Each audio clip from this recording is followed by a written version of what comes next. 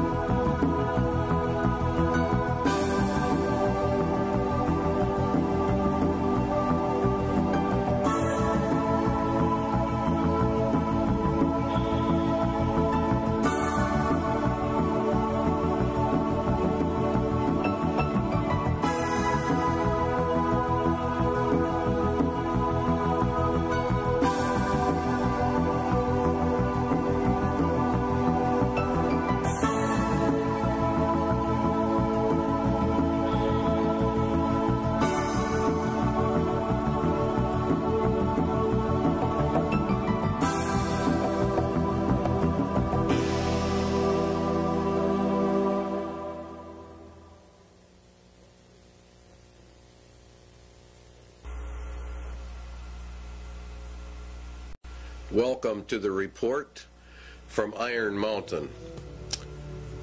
This report is something you would never believe unless you read it. But you also have to understand the mindset of the government that requested it. And that is one of the most important features of this video.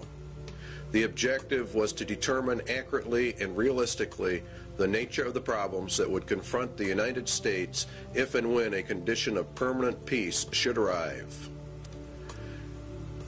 This is one of the key elements of the report because we are to go under under the antichrist system an era of supposed peace and this is what this whole program was about. If and when a condition of permanent peace should arise, that means that peace in reality equals world socialism, as we will find out as we journey through this report. And they were to draft a program for dealing with this contingency. In other words, this is a planned situation.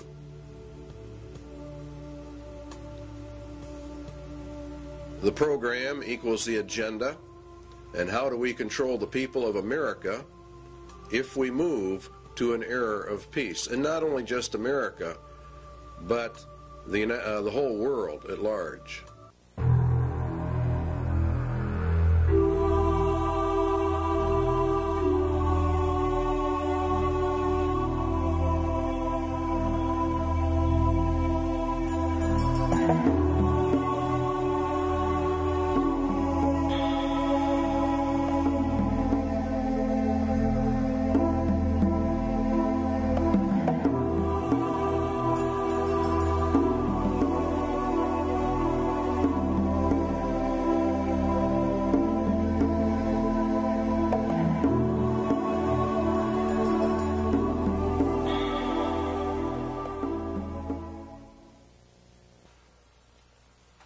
In 1961, Public Law 87-297 was passed, paving the way for the United States to be merged with the United Nations. It's a very crucial law in that it disarms the American citizen in violation of the clear intent of the Constitution, which calls for our right to bear arms to maintain our free state. And by the calling for the disarming of all Americans, of course, we lose our free state and we are submerged actually into a slave state. Uh, the disarming was to be done by a period of gradual disarmament, and as they were disarming, the United Nations would be built up with a powerful standing army. The evidence suggests a CFR TC Bilderberg connection the rich men of the earth, the merchants of Babylon, the killers of the just, according to the Holy Scriptures. The report concerns itself with a globalist agenda, and the conclusions reached have been advanced by these groups. Every one of the conclusions in, uh, in the Iron Mountain report have been advanced by these groups Committee of 300, the CFR, TC Bilderbergers, Royal Institute for International Affairs, Tavistock, your Club of Rome, United Nations, it goes on and on. Okay, it began back in 1950 actually. These hearings uh, began to take place in the United States and the calls for a world government were actually held in 1950. Here's a resolution uh, in Congress that was considered and called for testimony and it says to provide a true world government through the adoption of a world government constitution there was a clear intent to place uh, the United States directly under the United Nations and to scrap our Constitution. Universal peace is a prerequisite for the pursuit of that goal, and from the competitive anarchy of nationals or nation states, therefore the age of nations must end, and the era of humanity must begin. You will find there's a constant call for the merging of all humanity. Here's a resolution uh, adopted in the United Nations.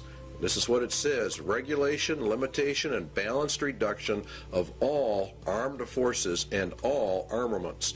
The all armaments means your weapons that you have in your closet for your own defense. It includes handguns and uh, rifles and all kinds of things. Here's your blueprint for world peace, which was issued also in 1961, uh, concurrently as this move uh, towards putting us under the United Nations. You'll find that as the United Nation or United States and the Russian military are to be reduced, the UN is consistently brought up to a higher and higher position. The only thing we are left with are internal security forces. Under the Freedom from War, this is a packet issued by the uh, federal government to go along with uh, 87 to 97. This can only be achieved, the merging and disarmament, through the progressive strengthening of international institutions under the United Nations and by creating a United Nations peace force. See, they want to progressively strengthen the international institutions, all of which come under the United Nations. We are to lose our sovereignty. This can only be achieved through the progressive strengthening by creating a United Nations peace, which really means police force, to enforce the peace. This is what Daniel said, and by peace the Antichrist shall destroy many. He shall also stand up against the prince of princes, but he shall be broken without hand. And it was given unto him to make war with the saints, and to overcome them, and power was given him over all kindreds, and tongues, and nations and all that dwell upon the earth shall worship him, whose names are not written in the book of life of the Lamb, slain from the foundation of the world. All right, back to the government report. The disbanding of all national armed forces and a prohibition of their reestablishment in any form whatsoever other than those required to preserve internal order and for contributions to a United Nations peace force.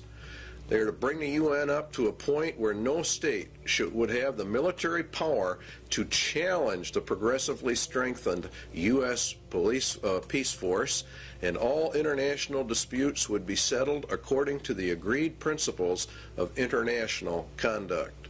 That's exactly what the Bible says. It was given unto him to make war with the saints and to overcome them, and power was given him over all kindreds, tongues, and nations no one can make war with this final world entity. And if you will study your scriptures out, you will find that the United Nations fulfills every parameter listed for the uh, Antichrist system. And Public Law 87297 has been updated. There are numerous updates. You will, if you go search them out, uh, Public Law 101 216, for example, has been updated. Here's another one. I have today signed H.R. 1495, the Arms Control and Disarmament Amendment Acts of nine, uh, 1989.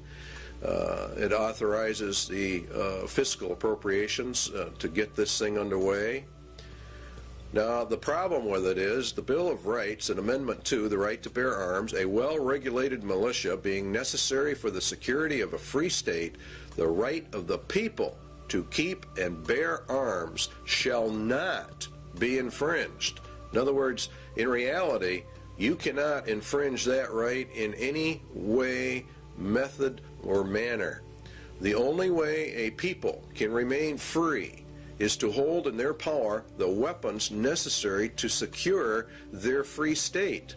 This amendment deals with the international security of the United States from its own government.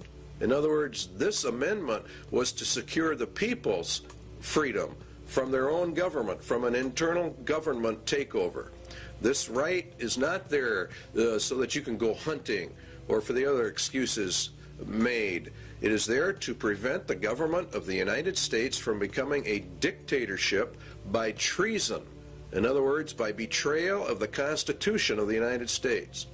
Now, in order to merge the United States into the United Nations requires a total betrayal of the Constitution, which guarantees you a free state through the right to bear arms.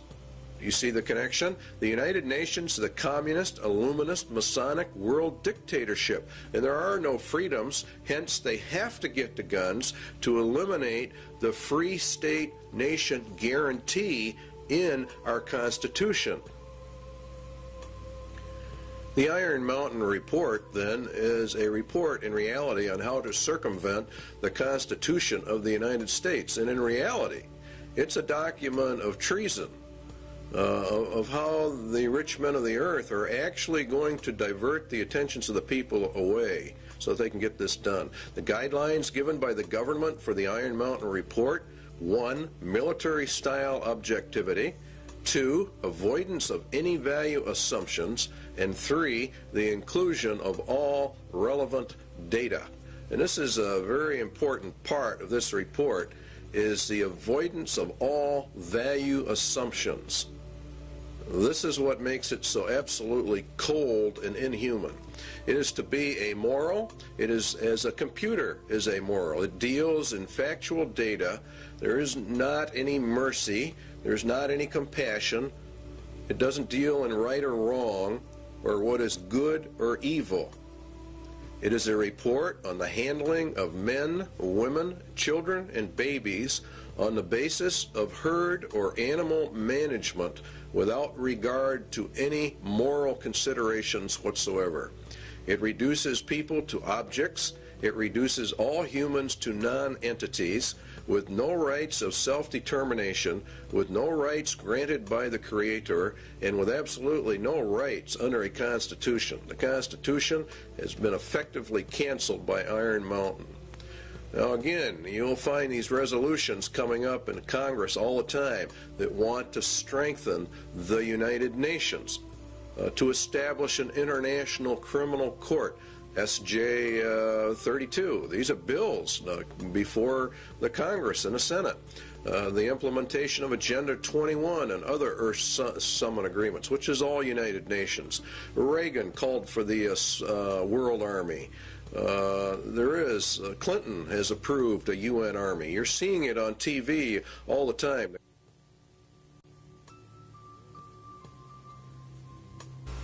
War is required, the glue of the nations, according to the Iron Mountain Report.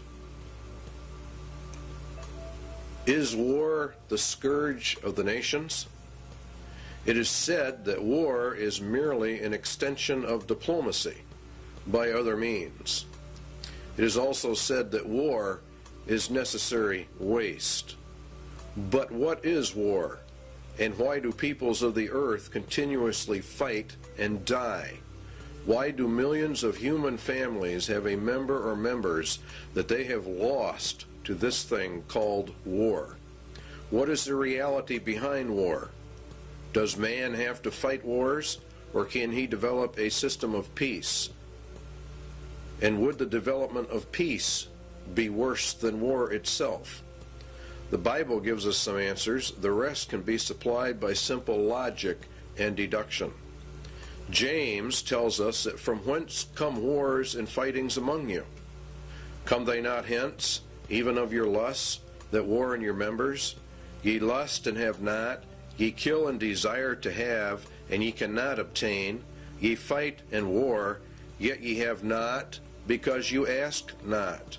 Ye ask and receive not, because ye ask amiss, that ye may consume it upon your lusts.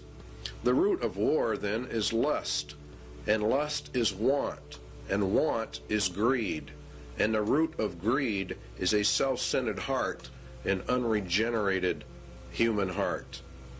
This is the key we need to explain war, and the Bible gives us many clues to why warfare is, and that in reality it can never be stopped. The root of the problem lies with the human heart, and the Bible says that the human heart is so desperately wicked that none can know it. Jeremiah says, The heart is deceitful above all things, who can know it? Paul says in Romans, the carnal mind is enmity against God, for it is not subject to the laws of God, neither indeed can be. Jesus was very emphatic that out of the heart of man poured forth all kinds of evil. The problem with mankind is then his evil heart. Evil because it is self centered, and evil because it does not contain true love. The love within that it does have is hurtful or harmful manipulative, self centered, and filled with its own desires, according to the Lord. But we obtain other clues as well from the scriptures as to the true reasons for war, and particularly in our day and age. Jesus, uh, rather, James says, Go to now, ye rich men, weep and howl for the miseries that shall come upon you. Your riches are corrupted, and your garments are moth eaten. Your gold and your silver is cankered. The rust of them shall be a witness against you, and shall eat your flesh as it were fire. Ye have heaped together treasure for the last days. Ye have killed and condemned the just.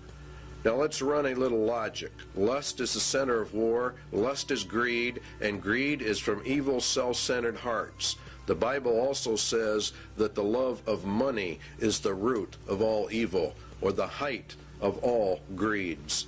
Lust then is greed, and the ultimate greed is an insane love of money, which brings with it power, which brings with it control over mankind.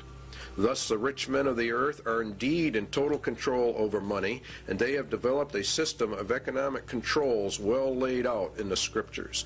If the rich men of the earth gain control over the planet via their Babylonian economic system, then they are the ones who are only powerful enough and rich enough to wage war, and they are the only ones who can develop the war machines that you are looking at on your television screen.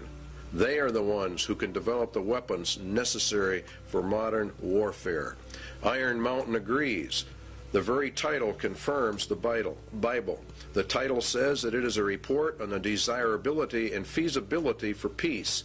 It was ordered by the rich men of the earth. Therefore, they themselves must be the ones waging the wars, and now they have elected not to wage wars, but have elected uh, to do something else because warfare has, is drawing to a close, it will have soon served its purpose.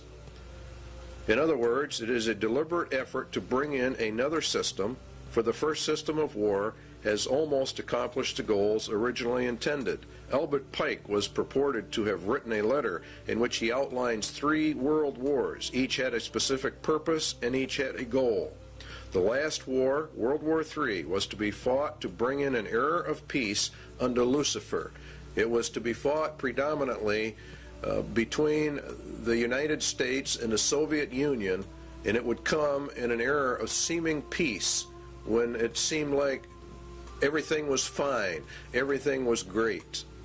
The Bible says that the Antichrist is a man of peace. He rides a white horse and has no war machine. There are no arrows in his bow. He is to usher in a period of peace after great wars. Iron Mountain is about this era of peace. Iron Mountain is a report to aid Antichrist in his rise to power. It is in reality a report from hell.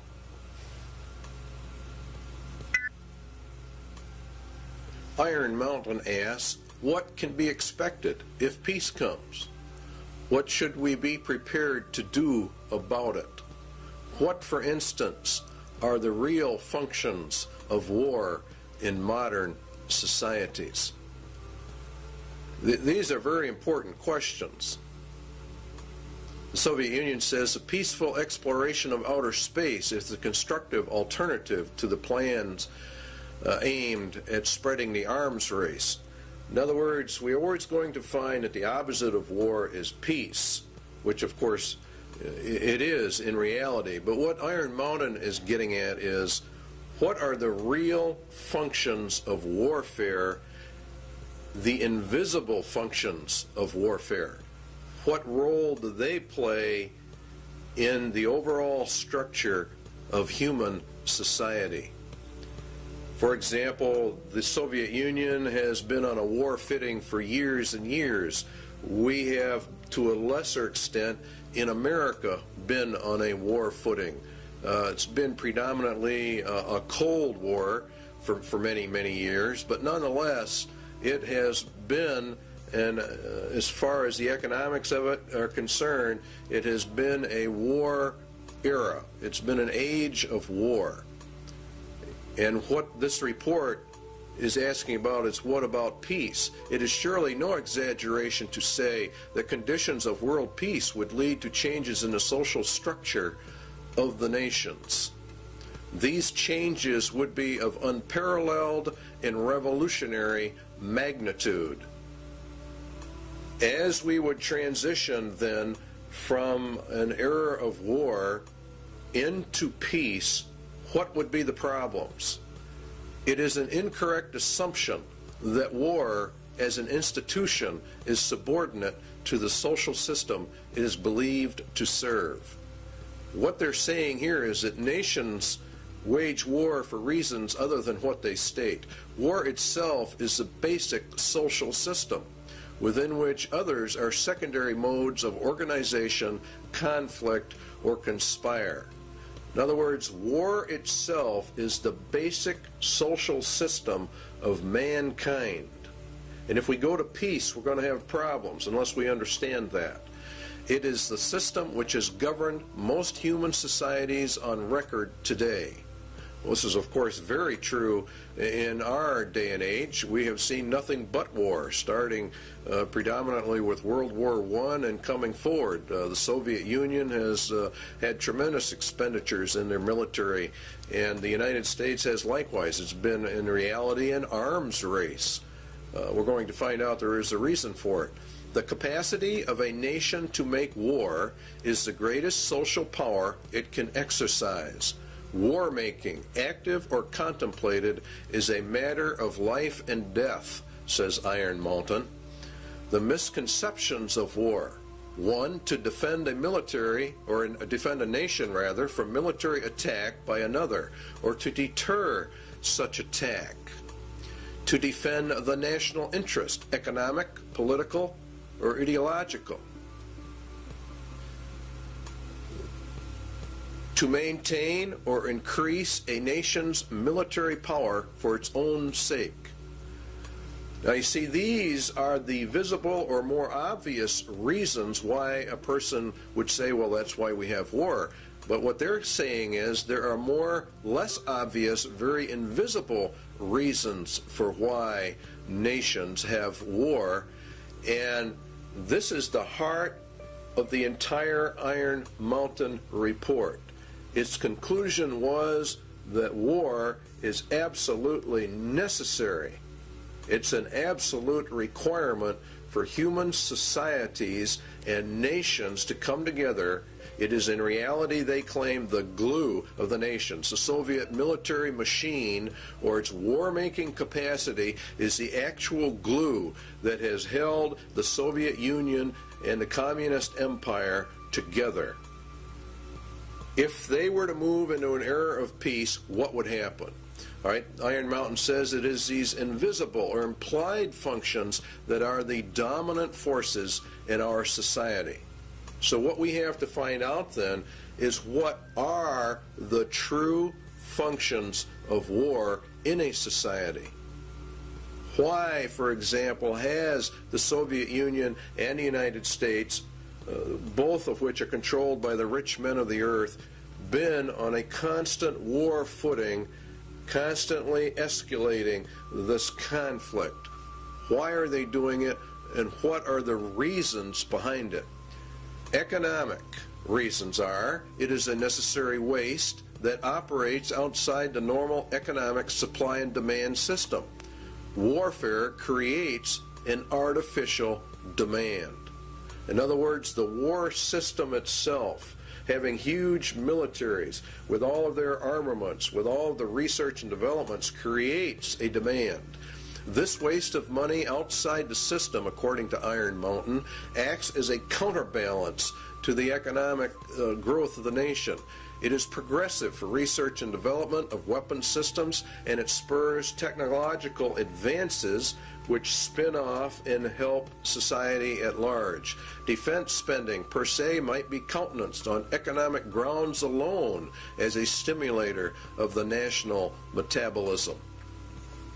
In other words, war itself, for economic purposes, is a tremendous growth factor.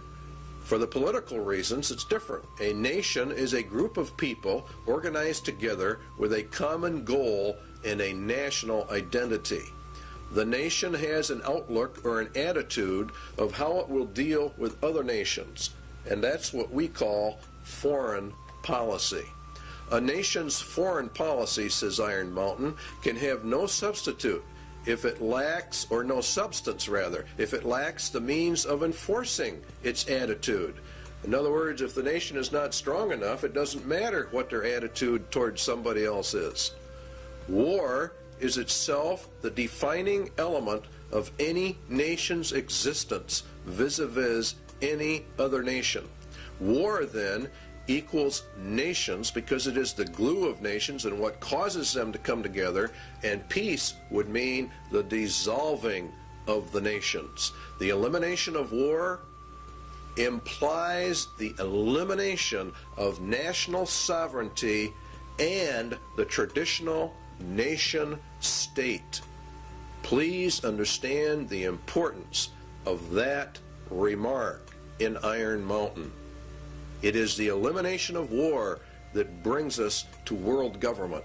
The war system not only has been essential to the existence of nations as independent political entities, but has been equally indispensable to their stable internal development.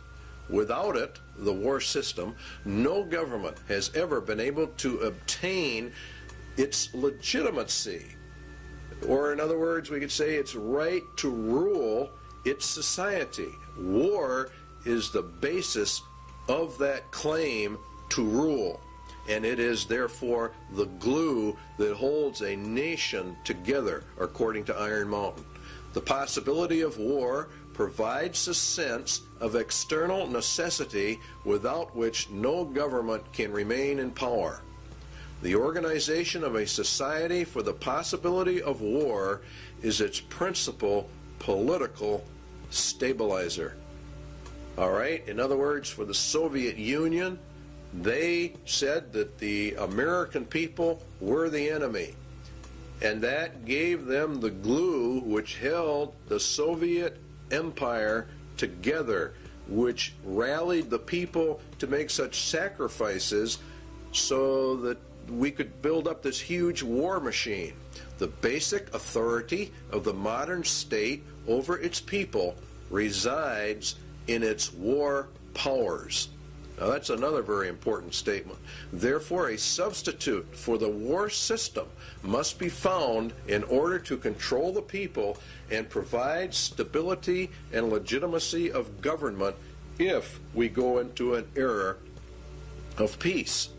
Now, we know that the United Nations is to be that era of peace. So, therefore, what they are saying is we have to find substitutes for what war does, the invisible functions of war. We have to find a substitute for that if we are going to go to peace. Obviously, if the war machine is discarded, new political machinery would be needed at once. In other words, as they phase war out, they have to phase whatever they're going to put in its place in to control the people to control the nation. This is an essential part of Iron Mountain. Until it, the substitute for war, is developed, the continuance of the war system must be assured to maintain the stability of its internal organization of power. In other words, we have to keep the war system going in order to remain in control keep war until all substitutes are in place and running so we don't lose our rulership. In other words, those that are in power are going to remain in power. They've got to figure out a way to do that. So they're going to de escalate the war system as they bring in a peace system. And the peace system is going to radically alter our societies. What substitutes for war are there? Well, it has to be a universal threat of equal magnitude as that of World War. The immediate loss of life and the immediate thought that blood is going to be shed. It has to be credible and it must be accepted by the vast majority of the population of any given nation or, in reality, the whole world if they're going to bring in global peace. Credibility, in fact, says Iron Mountain, lies at the heart of the problem of developing a political substitute for war.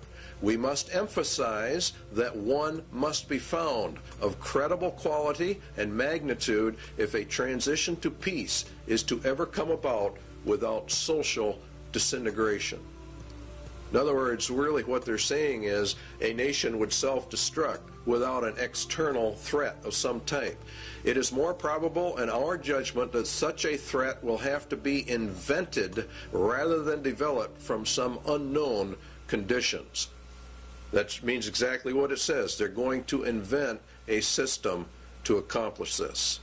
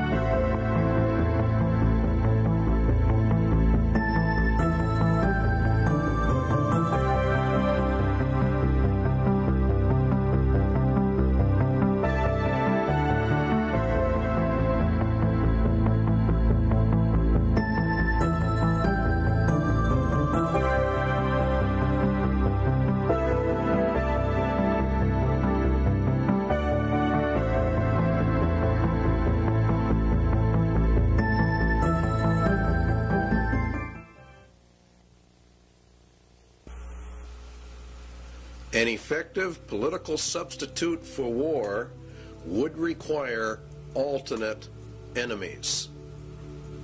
In other words, we have to find an external threat that's uh, uh, essentially very large. It may be, for instance, that gross pollution of the environment can eventually replace the possibility of mass destruction by nuclear weapons as the principal threat to the survival of the species. In other words, they're going to bring the environment up to a point of global threat. Poisoning of the air and of the principal sources of food and water supply is already well advanced and at first glance would seem promising in this respect. It constitutes a threat that can be dealt with only through social organization and political power. But from present indications, it will be a generation to a generation and a half before environmental pollution will be sufficiently menacing on a global scale to offer a solution as a substitute for war. In other words, we replace the war threat with an environmental threat. Now you know why the environment is on the TVs and the media constantly. A generation to, is about 30 years, so it'd be about 1991 that this would be brought up to a global scale. It is true that the rate of pollution could be increased selectively for this purpose. In other words, what they're going, you could, you could selectively find areas where you could deliberately increase the pollution to get this threat in motion a little quicker. It is true that the rate of pollution could be increased selectively. In fact, the mere modification of existing programs for the deterrence of pollution could speed up the process enough to make the threat credible much sooner. In other words, let's have the governments drag their feet on pollution controls or the enforcement of pollution controls. And around the world, that's exactly what we have seen a matter of foot dragging on the areas. One would then perhaps get the concept that this was all deliberate. Allow pollution to deliberately get worse until it can be manipulated by the controlled media into a world crisis. A global crisis has to be developed. Al Gore, Vice President, very timely book. Perhaps coincidentally, he wrote the book called Earth in the Balance Ecology and a Human Spirit. It's a modern version of Iron Mountain in the ecological field. And, and in reality, it's quite an interesting book. You, you should go out and buy a copy of it.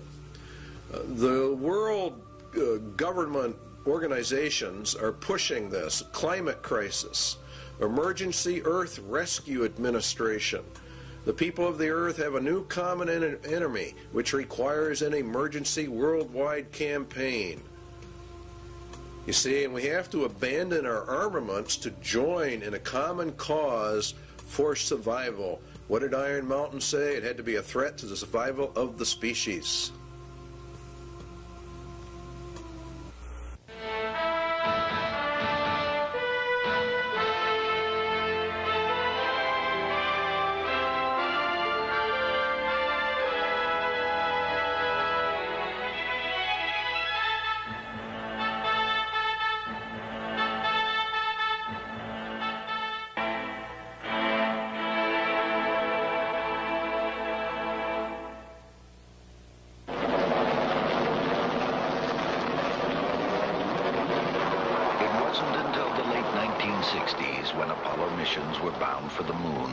First able to see complete pictures of the Earth. Environmentalists began to look at our planet as a single fragile ecosystem. Now we are intensely studying the thin halo of atmosphere that surrounds and protects Earth. It recycles the air we breathe, regulates climate, and acts as a protective barrier filtering out much of the sun's harmful radiation. Last year, an international group of scientists proved that ozone, the key element in this filtering process, is being lost at an alarming rate over the South Pole. In fact, a sizable hole develops over this area each winter. Without ozone, the sun's harmful radiation will destroy life on Earth. A group of man-made compounds called chlorofluorocarbons, or CFCs, used as refrigerants, cleaning solvents, and in some plastic foams, are to blame for this environmental problem. They eventually make their way into the atmosphere and destroy ozone. According to Dr. Brian Toon of NASA's Ames Research Center, it is a global scale environmental problem.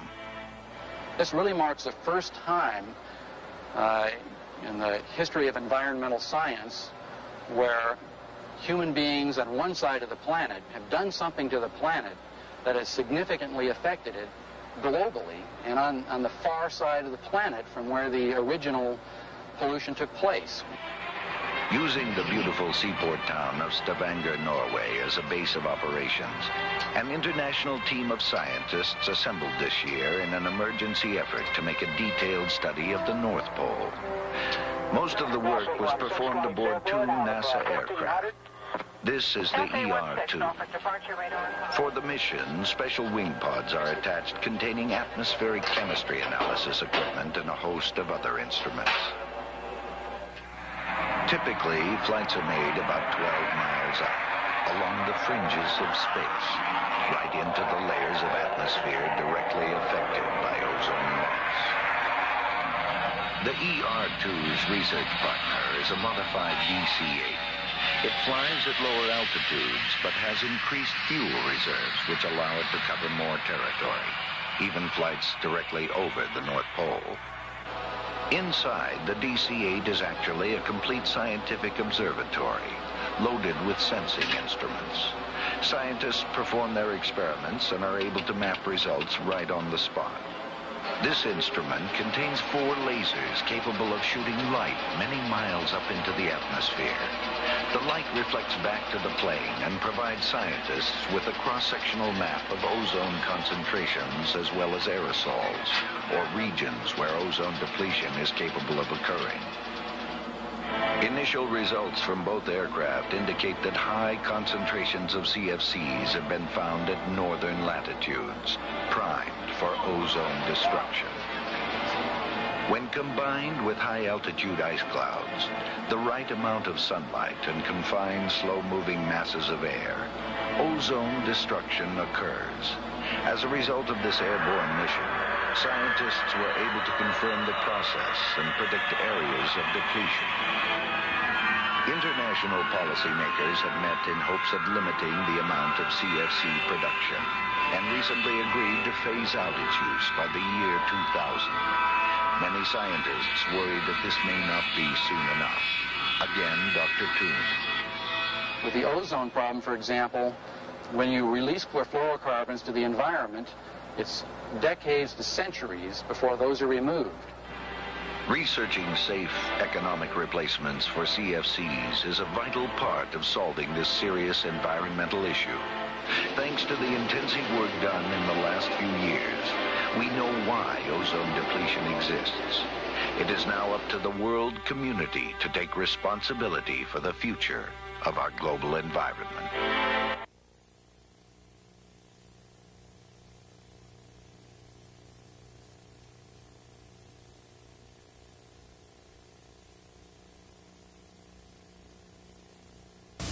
Two Landsat satellites continue to orbit the Earth 14 times a day. From their 570-mile-high vantage point, they return images like these taken over rich California farmlands. Telltale red images indicate vigorous vegetation growth. The state of California is using Landsat imagery to inventory and map its irrigated cropland. Ecology, the balance of nature, is important to all life. One of the tools we can use to monitor this balance of nature on Earth is the satellite. Satellites can be used to observe our planet from a high vantage point. A NASA film called Remote Possibilities tells the story. From far out in space, the Earth appears serene and beautiful, displaying no hint of our crowded planet's many problems.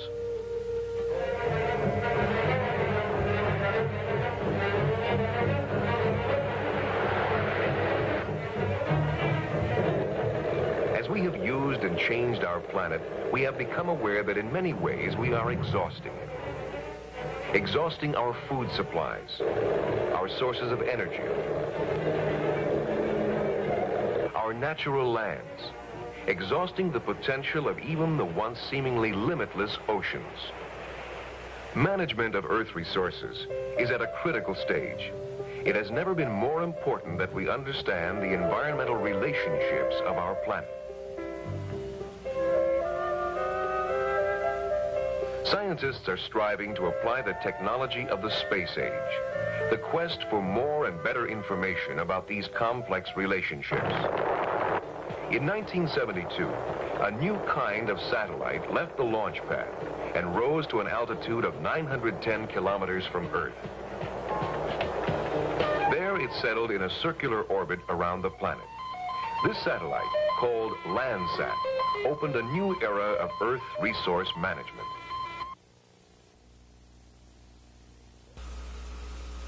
One substitute for war has then been found. The Iron Mountain agenda is being carried out. The objectives of the eco scam? Well, the UN will end up with control over all the land, and ownership of the land will be held by the rich men.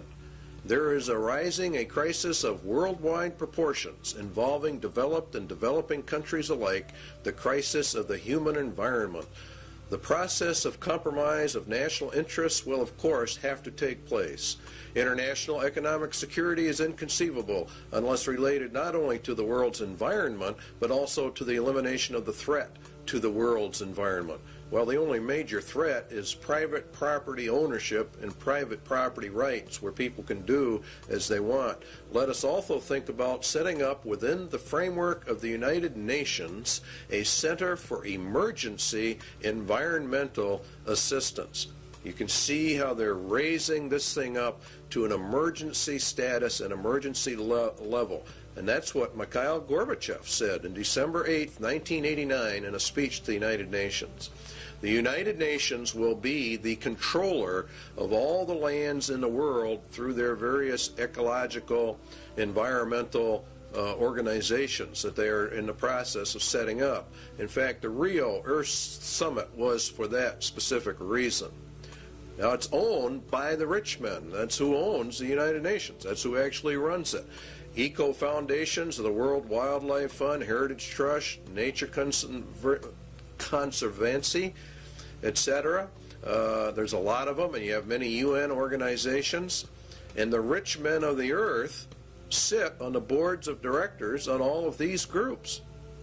These groups are buying up huge chunks of private land for conservation, they say, and to preserve the earth. And of course, all of it is to be owned by the rich men. And what they cannot purchase by normal means will be taken under zoning controls, DNR regulations, or other land grab means via governmental authority and regulation.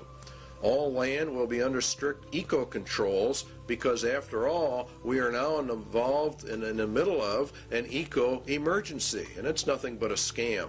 It's really a debt for land swamp is another part of it. The international bankers loan and control the monies to all the countries and through interest have driven them into huge debt status. The debt of the United States is in the trillions. The bankers then come forward with a new plan. They will take the nation's land and then they will cancel the debt of that nation. It is called a debt for land swap. This land will be held by a World Conservation Bank, owned, of course, by the rich men of the earth. They will then own all the land, all the resources, all the food. They become the absolute masters, and all the people become the slaves. It's a perfect scam. It's a perfect system. Because the eco threat is now global, then obviously it can only be controlled by a global authority. And guess who that is? Why, of course, it's the United Nations. Now, the eco scam is being pushed by every organization that's involved in the environment. Uh, even Time magazine ran an article on the endangered earth. It's being put in all your children's uh, school books all of their study books about the crowding of human life, about how we have such an ecological crisis, an environmental crisis, and unless we all do our share, why the whole world is just going to disintegrate and the entire population of man will be eliminated. That's according to them. It's very interesting that Daniel said of the Antichrist that he shall divide the land for gain. In other words, he takes over all the land and divides it up amongst these various foundation groups. And that's exactly what's happening.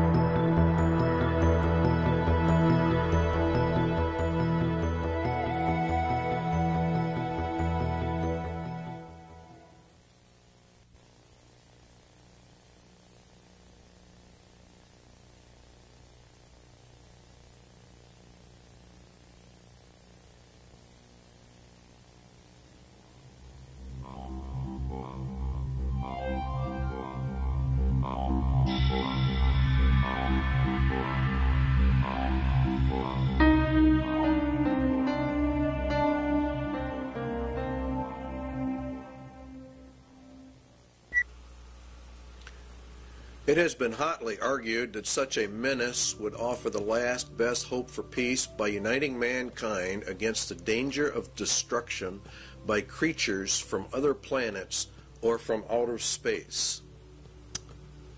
Experiments have been proposed to test the credibility of an out of the world invasion threat. It is possible that a few of the more difficult to explain flying saucer incidents are of this nature. The thrust of the second threat is to unite mankind against a common enemy. The escalation of the UFO mystery requires careful media control. The threat must also dovetail into the agenda for a one world government. Everything that Iron Mountain proposes in all of their substitutes will lead into a one world government. And that is the whole nature of it. There has been a tremendous amount of interest in UFO activity. Many, many books have been written about it. Uh, the average Christian, I believe, probably poo poos the whole subject, but we believe here at uh, CIA they're making a tragic mistake when they do that. Uh, because the Bible uh, does mention some things that would tend to imply very strongly that UFOs are in fact real and will be a latter day occurrence uh, just before the end and just before the return of Jesus Christ. Uh, as you can see, here's a book uh, for Christians, UFO End Time Delusion. It is part of the grand delusion that God is going to cast down upon man for the rejection of Jesus Christ in the end. There have been many books written about uh, the government's cover up of the UFO experience, and that the United States government knows exactly what is going on, and we would agree with that uh, from the viewpoint of the scriptures. Uh, that the people of the world, uh, the governments of the world, the highest levels of uh, the powers that be, uh, know exactly what's going on when it comes to the UFO mystery. They do because their mind is controlled by Satan, and he is the author of all of this. It's part of the grand delusion in the end.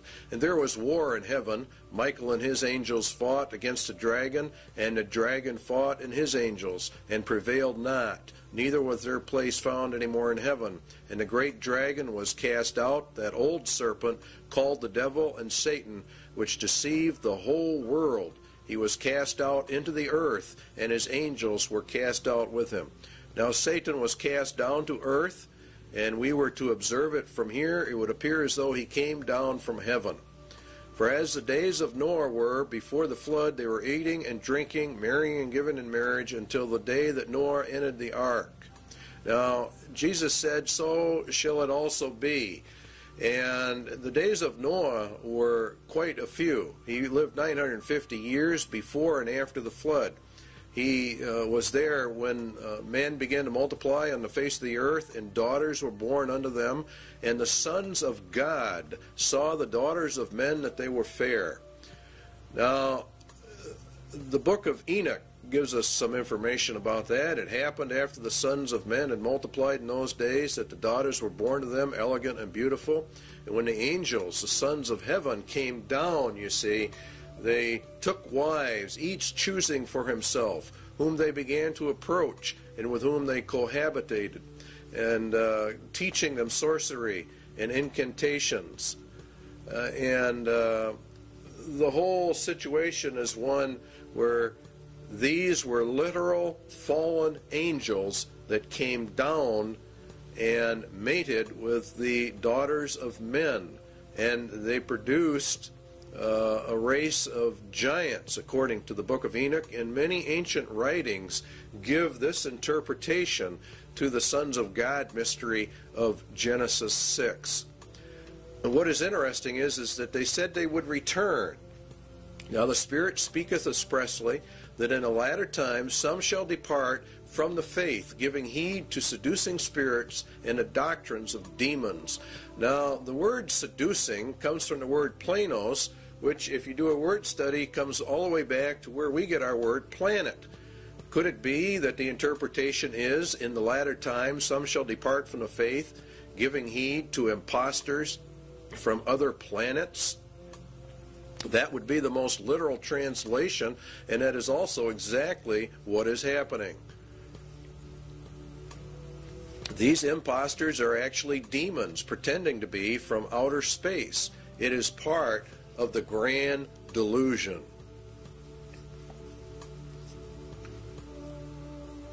For this cause God shall send them strong delusion, that they should believe a lie, that they all might be damned who believed not the truth, but had pleasure in unrighteousness.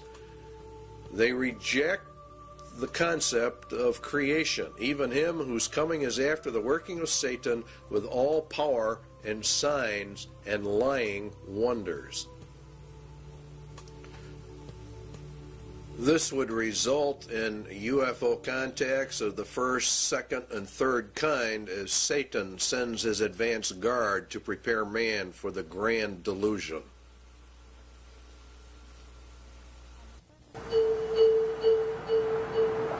On the surface of an average planet, circling an ordinary yellow star, an advanced intelligence searches the skies for evidence of life.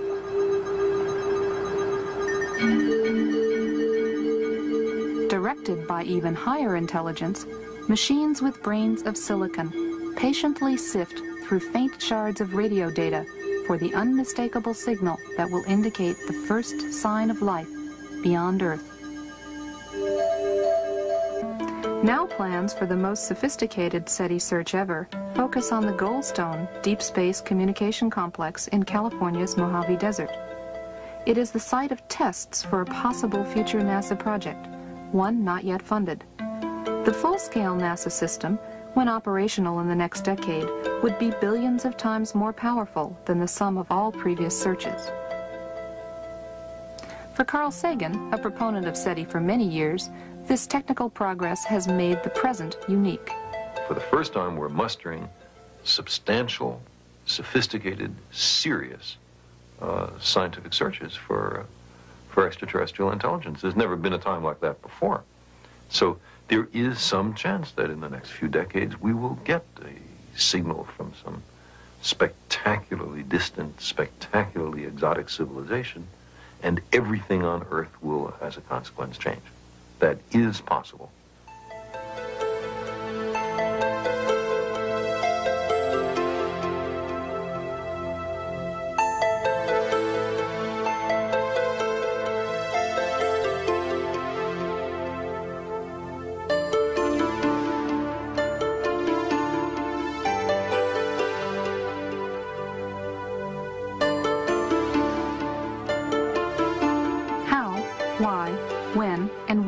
Search for life beyond Earth has been debated for centuries. Deciding what sort of signal to look for in the skies is no easy task. NASA's proposed search focuses on radio, a portion of the electromagnetic spectrum where nature produces the least interference for any intelligent signal.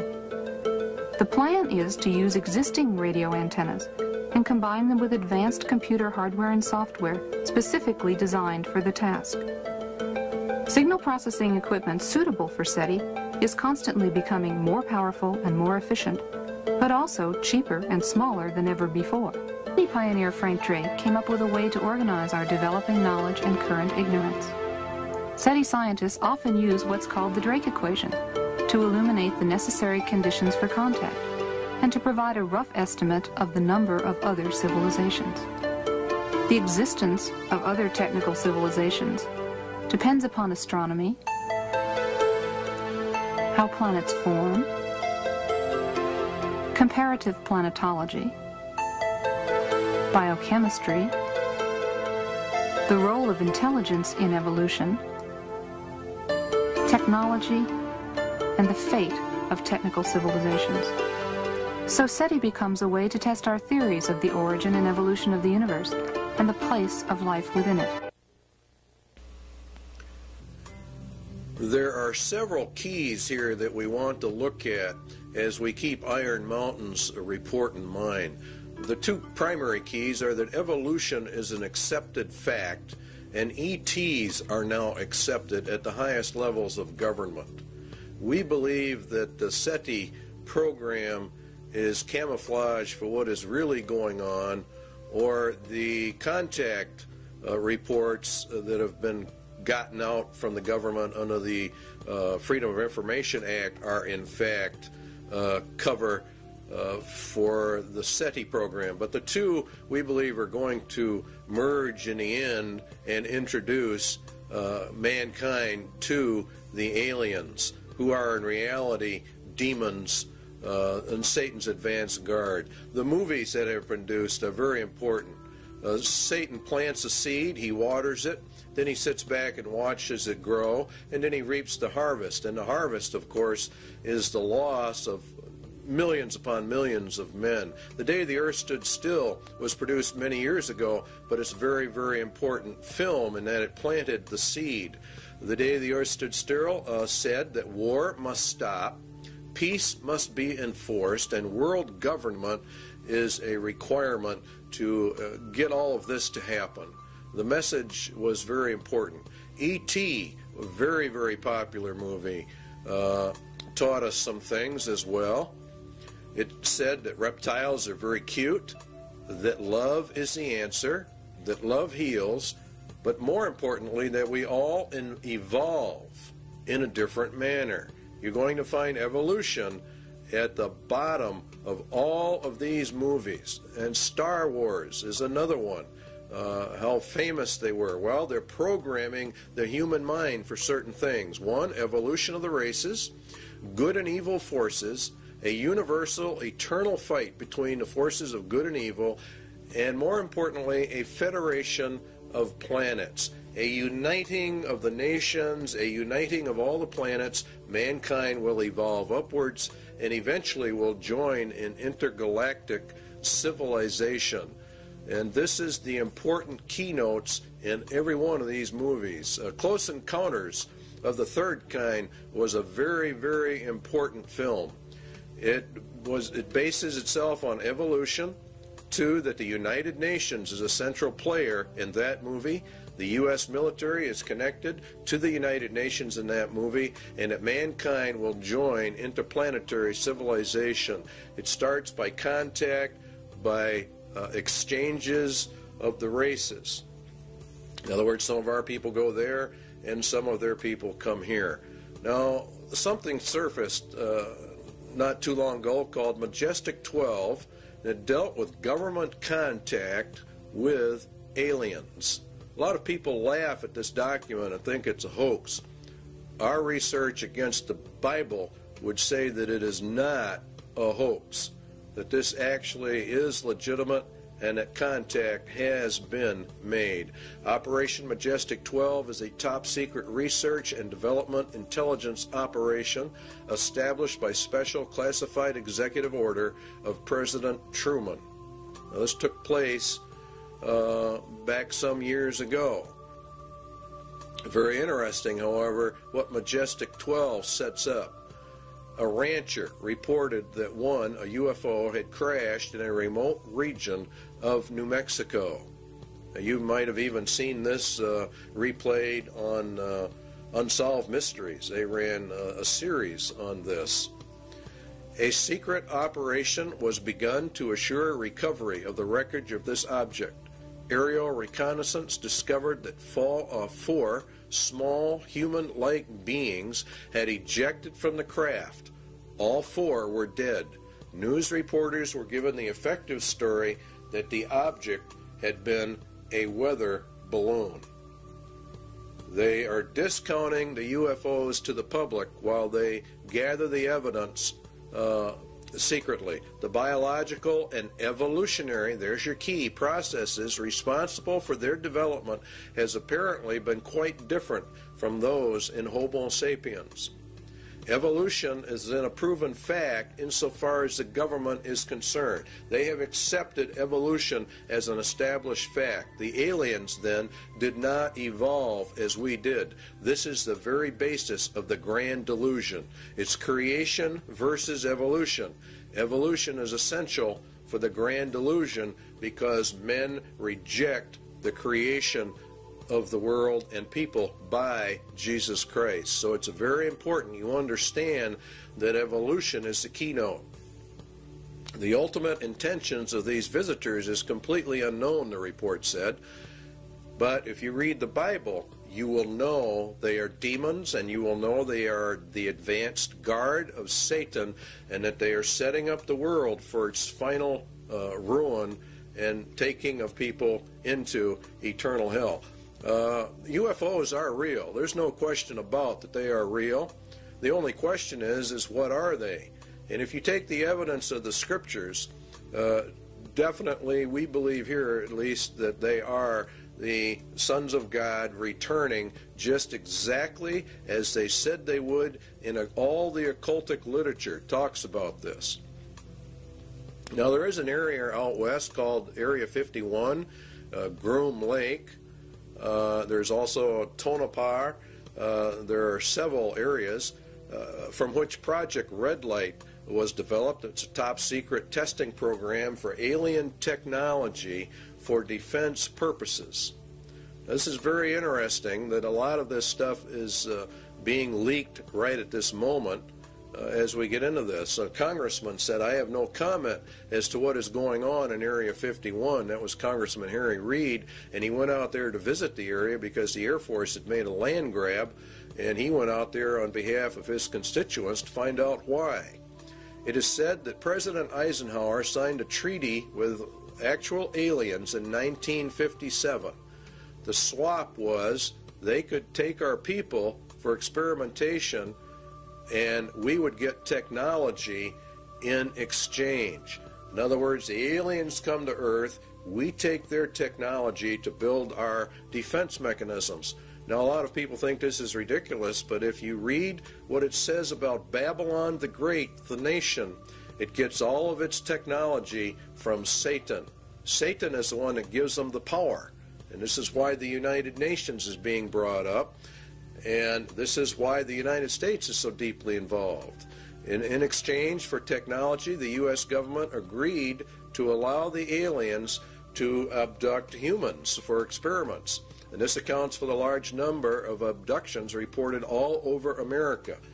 This is part of the grand delusion which has evolution at the root of it.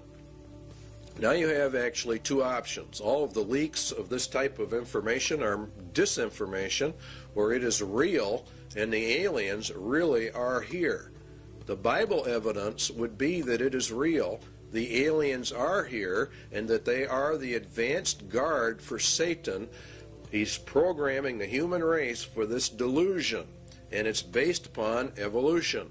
The sons of God of Genesis 6 have returned, as they said they would in occult writings. And Jesus said, As it was in the days of Noah, so would it be again. And that's when the sons of God came down. So, therefore, the agenda of Iron Mountain for external threat number two has been and is being carried out. Uh, scientists are even going to the UN now to find out how are we going to answer these uh, aliens from our SETI contacts at NASA.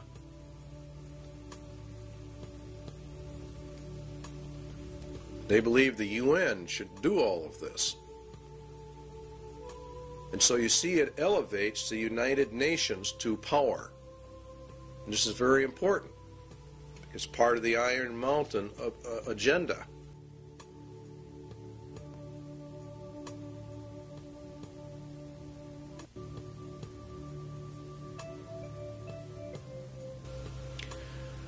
It might be argued that a well armed international police force operating under the authority of such a supernatural court could well serve this purpose. In other words, they're going to set up a, another threat. This is threat number three, actually an omnipresent, virtually omnipotent political or police force.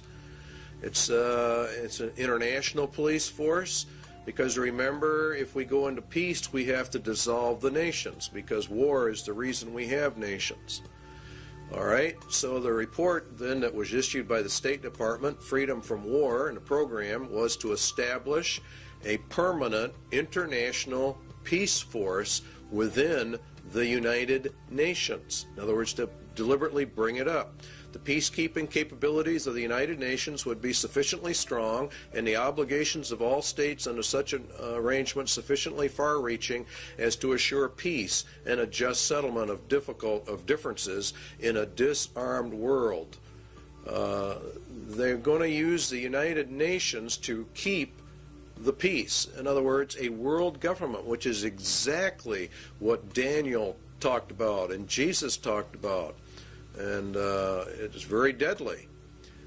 During stage two, states will develop further the peacekeeping processes of the United Nations to the end that the United Nations can effectively uh, suppress any threat or use of force by anyone, and that would include the America, the American people.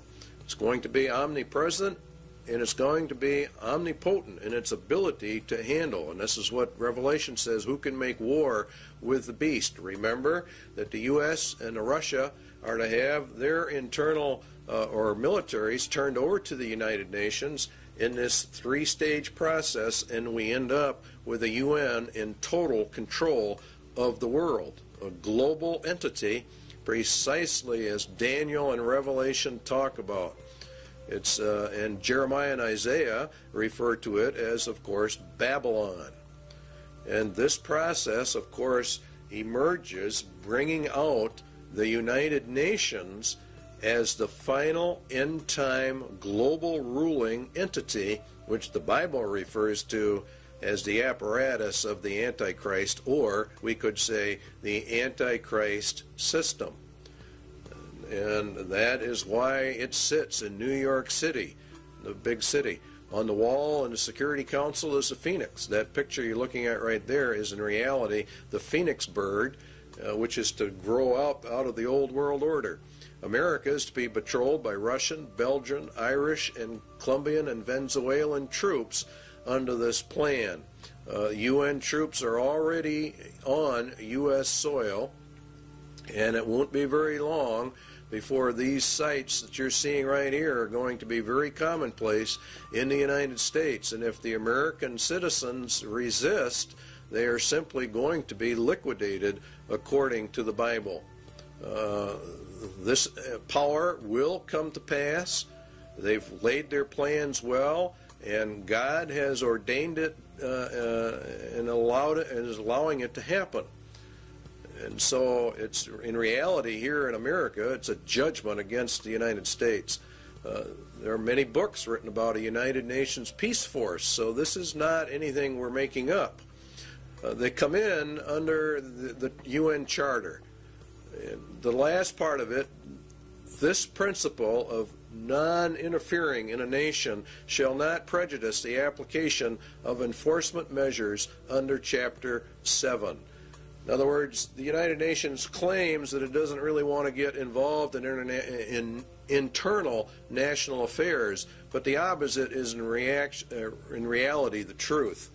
Chapter 7 deals with action with respect to threats of the peace, breaches of the peace, or acts of aggression. And it's the Security Council itself that determines the existence of a threat, breach, or act of aggression. And it can even walk in under the threat, or it's a possibility that we might have problems. And they determine the existence of any threat to the peace. So they can come in if they choose to on very fragile grounds, which is exactly what they did in Somalia. Should the Security Council consider that measures provided in 41, which are more economic, uh, I don't know exactly what word to use, but sanctions, I guess, is the best word to cover it. If that doesn't work, if economic sanctions do not work, then they can resort to military powers. And they can use whatever they have to to maintain or restore international peace. Now, Psalm 2 says that the kings of the earth set themselves and the rulers take counsel together against the Lord and against his anointed. Where do the rulers of the world meet? They meet at the United Nations, and this is where they take their counsel together. And the United Nations is, according to the Bible, antichrist, anti God to its very core. It is, in fact, the substitute for God and Christ on planet Earth. They intend to take it for themselves. The fourth beast shall be the fourth kingdom upon earth, which shall be diverse from all kingdoms, and shall devour the whole earth, and shall tread it down, and shall break it in pieces. And the ten horns out of this kingdom are ten kings. Now, it's a diverse kingdom.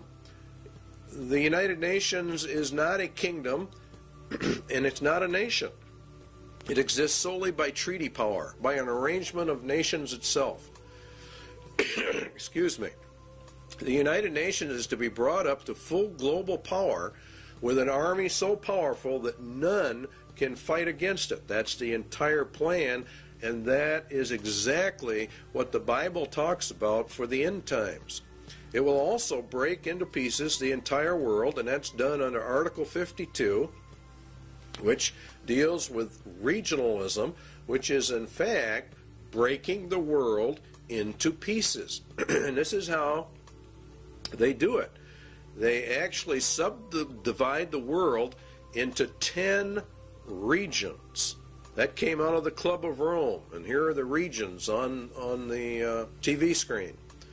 Uh, region 1, of course, is uh, North America, and it's Region 1 by virtue of the fact that it, North America, and particularly the United States, are the power, is the primary power behind the United Nations, enabling this to happen.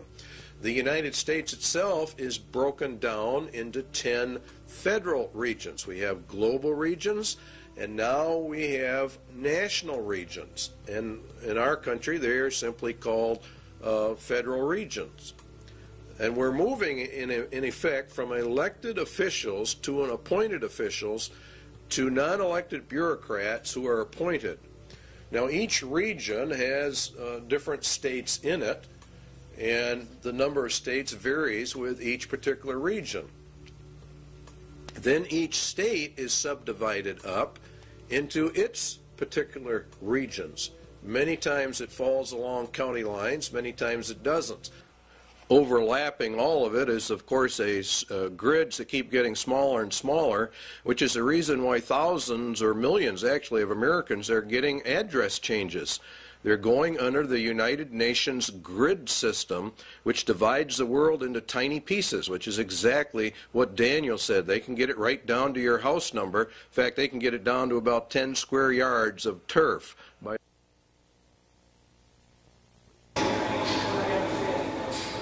Recently, NASA's Landsat 4 satellite, shown here just before its trip into space, was launched from the Western Test Range by a Delta rocket. This Landsat is the fourth in a series of NASA spacecraft designed to continuously collect accurate information on Earth's resources.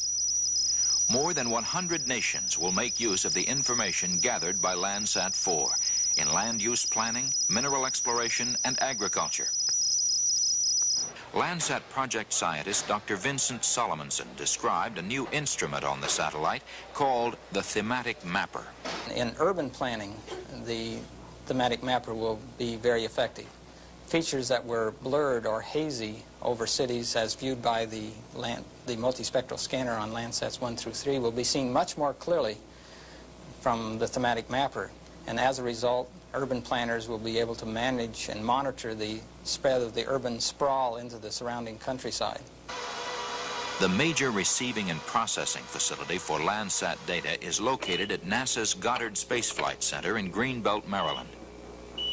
After completing its three-year mission, Landsat 4 is designed to be retrieved by the space shuttle. Okay, standing by for up telemetry command reset.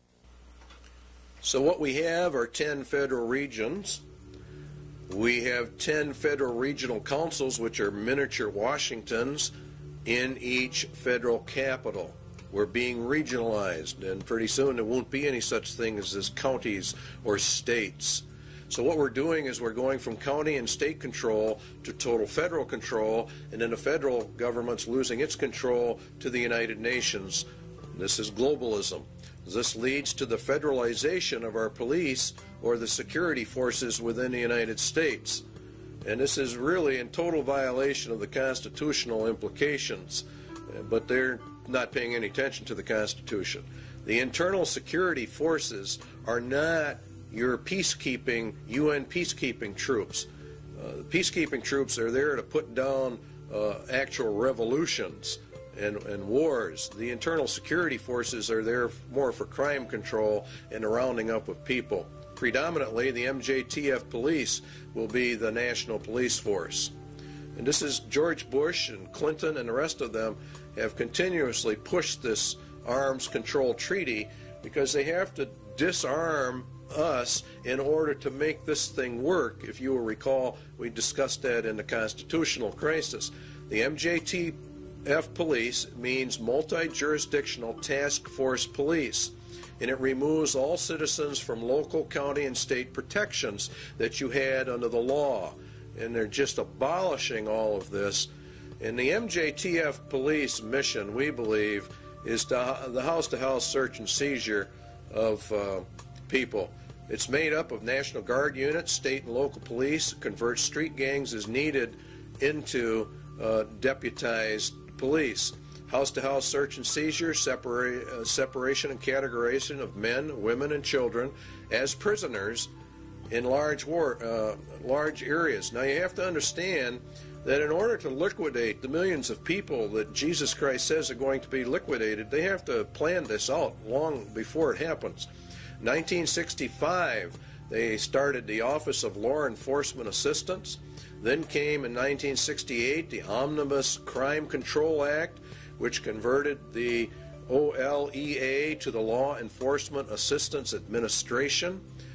They called, in turn, in 1971 for a regionalized police force.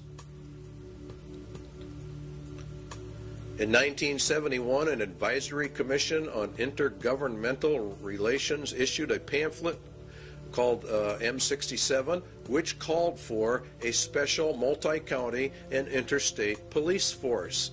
In other words, the merging of all police forces into one federal group.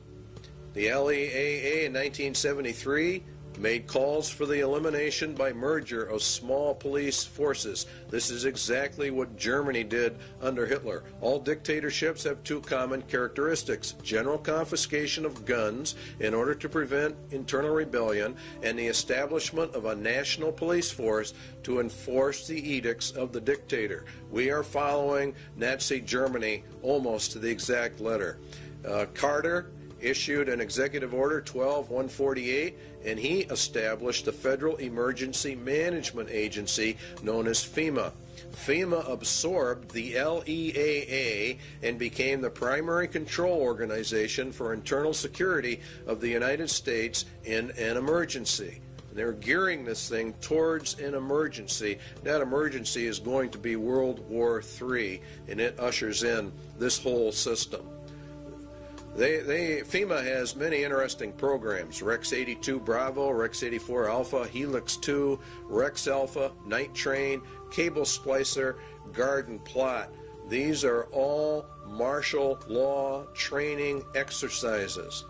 The plan is to bring America under martial law. We believe they know the American people would never accept this system except an external emergency were given. Uh, the UN system, remember, is a martial law military system. Under the executive orders of FEMA, mandatory registration of all people, including babies and children in the United States, at the United States Post Office. They have boxes in them. We already know about it. Uh, they're marked for emergency use only. Uh, the primary one here to look at is 11,000 seizure of all civilians and work brigades, which is in reality slavery and includes the rights to split up families as well. In essence, what will happen in America is going to be worse than the communist revolution in Russia. This plan provides the basis for the deployment and employment of military resources, including National Guard personnel, for civilian disturbances. So, Iron Mountain external threat number three has been and is now being implemented an omnipotent police force. Next on the list is the space program as an economic substitute for war.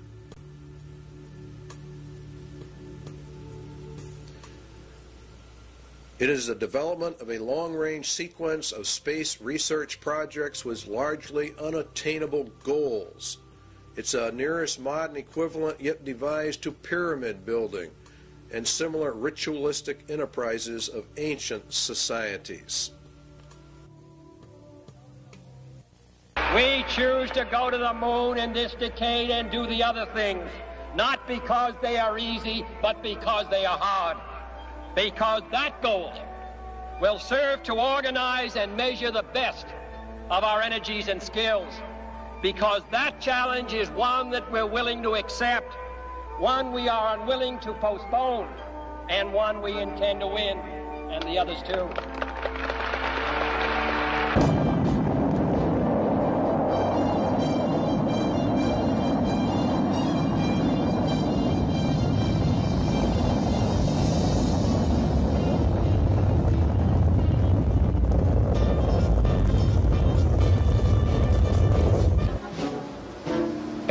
Associated with the Saturn V was huge. The rocket itself, the building where it was assembled, and the crawler transporter that carried it to the launch pad. The fully loaded Apollo Saturn V was 363 feet tall. Its main engines alone generated 160 million horsepower, and its fuel pumps pushed fuel to the engines with the force of 30 diesel locomotives. As Saturn V lifted off Launch Complex 39 for the first time, it weighed more than 2,800 tons.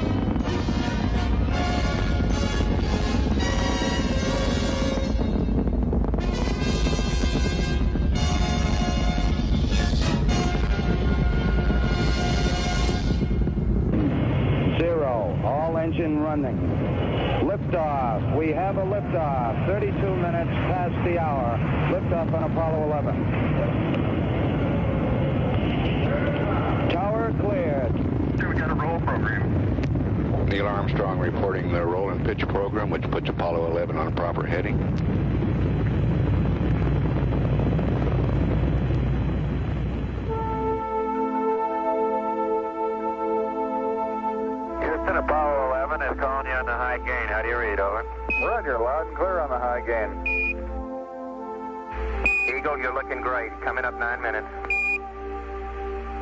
We're now in the approach phase, everything looking good. Altitude 4,200. Houston, you're a go for landing, over. 40 feet down, two and a half. Picking up some dust. 30 feet, two and a half down. Straight shadow. Four forward. Four forward, drift into the right a little. 20, down a half. 30 seconds forward, just. Good.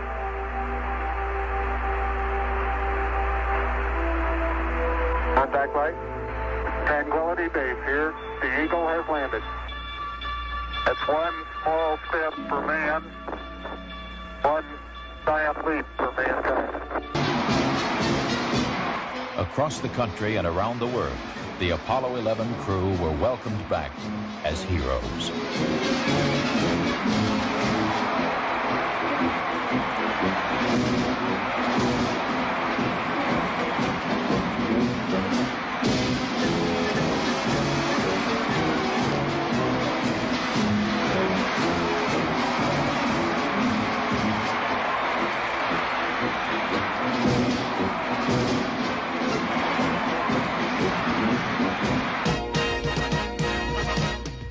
Before Project Apollo ended, six additional flights to the moon were made, and all but one were highly successful.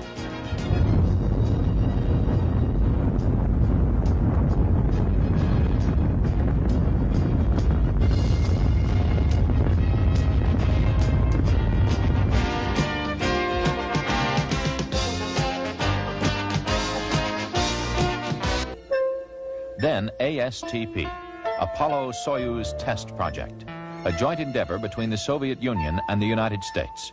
The mission called for a mutual docking and crew exchange to develop the necessary equipment for international space rescues.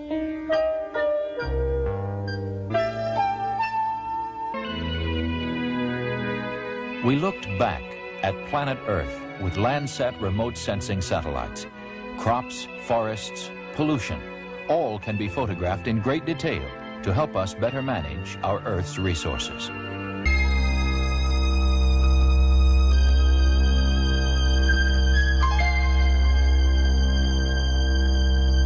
As of now, two-thirds of the planets in our solar system have been explored, and by the end of this decade, we will have explored most of the rest, including Uranus and Neptune.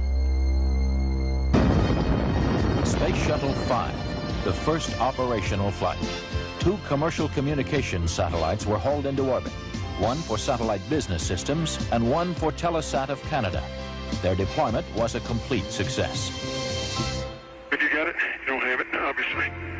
I got it. Space Shuttle 6 was the second operational mission and Flight 1 for Challenger, this country's newest spacecraft. After launching a 5,000-pound tracking and data relay satellite from the payload bay, mission specialist astronauts Story Musgrave and Donald Peterson became the first Americans in nine years to walk in space. Practice needed for satellite repair work.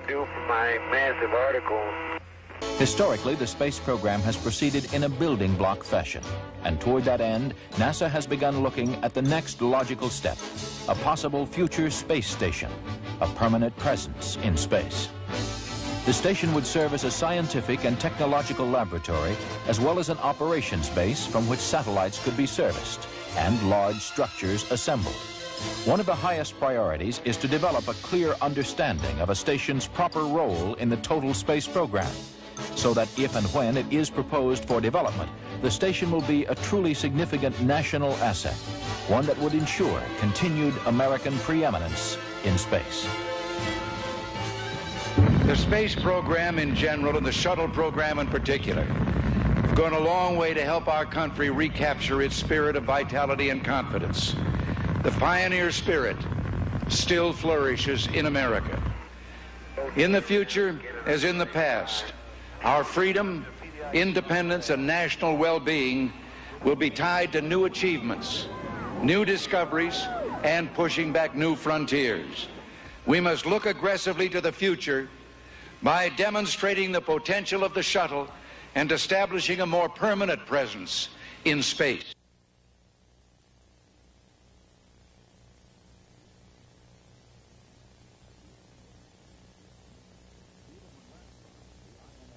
Even when ratified, the INF Treaty will not totally eliminate the nuclear threat to Eurasia.